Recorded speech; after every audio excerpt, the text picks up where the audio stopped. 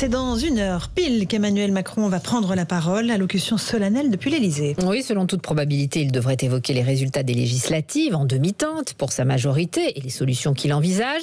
Une prise de parole, Jacques Serret, qui intervient après deux jours de consultation avec les différents chefs de parti. Oui, six rendez-vous hier, quatre ce matin. Emmanuel Macron a fait le tour en quelque sorte de la représentation nationale. Que va-t-il en retenir? C'est la question, alors que son ancien Premier ministre, Édouard Philippe, a plaidé face à lui l'idée d'une coalition pour sortir de l'impasse.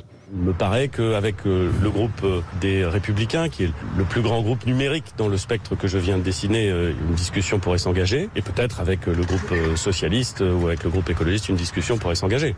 Une idée qui semble faire son chemin à l'Elysée. Emmanuel Macron a demandé à plusieurs responsables consultés depuis hier ce qu'ils pensaient de l'éventualité d'un gouvernement d'union nationale.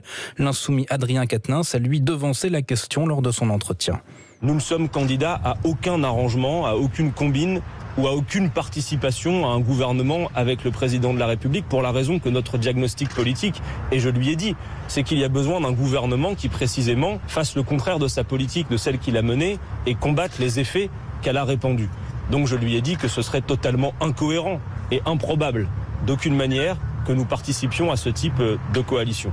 Emmanuel Macron, qui n'a d'ailleurs peut-être pas véritablement l'intention de mettre en place un tel gouvernement, mais le refus catégorique à ce stade de l'ensemble des oppositions lui permettent de leur renvoyer la responsabilité du blocage, une situation qu'il devrait décrire tout à l'heure en s'adressant aux Français. Une allocution d'Emmanuel Macron qui sera diffusée en direct sur Europe 1 et qui sera suivie d'une émission spéciale de 20 à 21 h